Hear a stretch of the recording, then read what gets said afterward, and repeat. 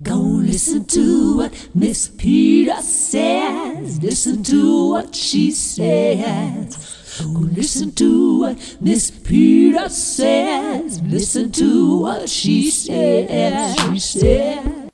Hello, everybody. It's Peta, your personal face exercise coach from Facerobics. Thanks so much for coming by. I really do appreciate it.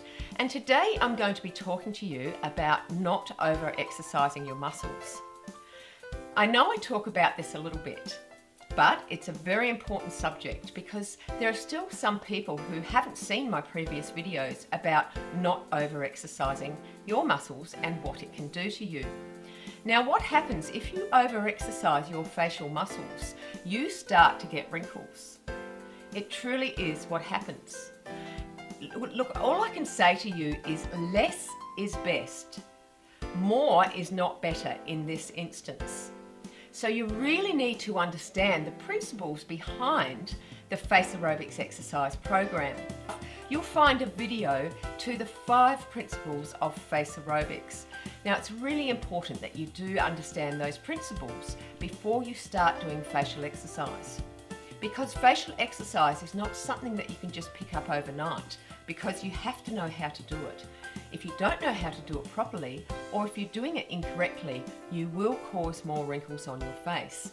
And believe me, I have made every every mistake known to mankind to do with facial exercise because I do them myself before I, I give them to you here on YouTube. So basically what I want to say to you today is that you need to be doing only one exercise per muscle group. You need to be doing a full face routine to have any effect at all.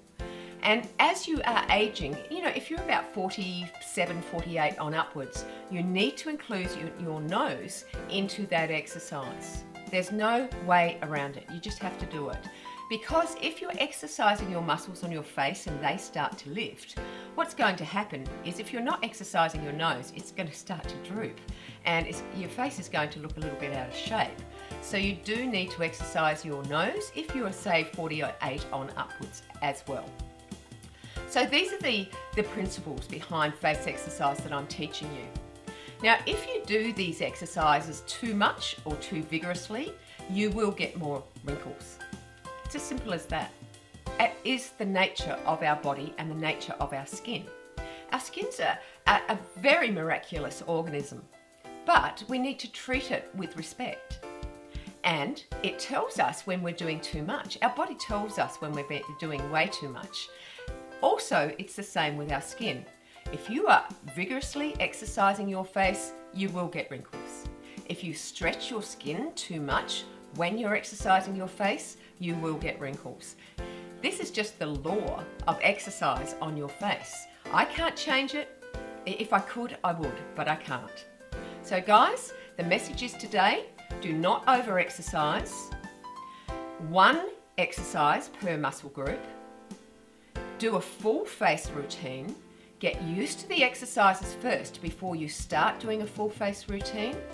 And then also, if you're over 48 on upwards, include a nose exercise, just a maintenance exercise. You don't have to do that really vigorously or strong, just do it gently, just so your nose starts to get exercised as well.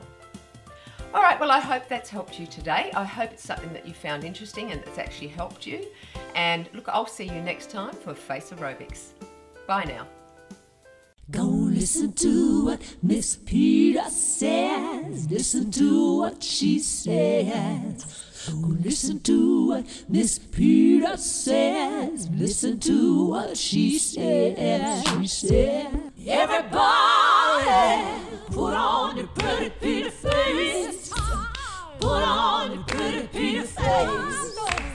Put on your pretty, pretty face.